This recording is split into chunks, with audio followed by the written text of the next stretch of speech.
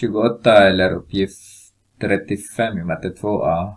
För, för vilket värde x är på x är den skuggade delens area 18 Så den här är bara 18 Så om vi tar hela kvadraten då så har vi 100, nej, 10 skulle jag säga.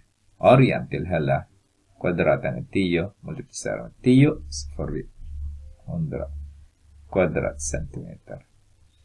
Den lilla är x multiplicerar med basen gånger höjden dividerar med 2 är lika med x upphöjt till 2 dividerat med 2.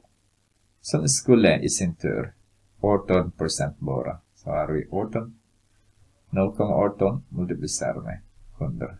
18 procent av det hela. Och då 18 procent av 100 är 18. Så x upphöjt till 2 dividerat med 2. Multiplicerar vi båda led med 2. Så har vi x upphöjt till 2 är lika med 36. Eh, tar vi ruten ur båda. Så har vi x är lika med. Den positiva delen är värde bara. Så blir det 6 centimeter.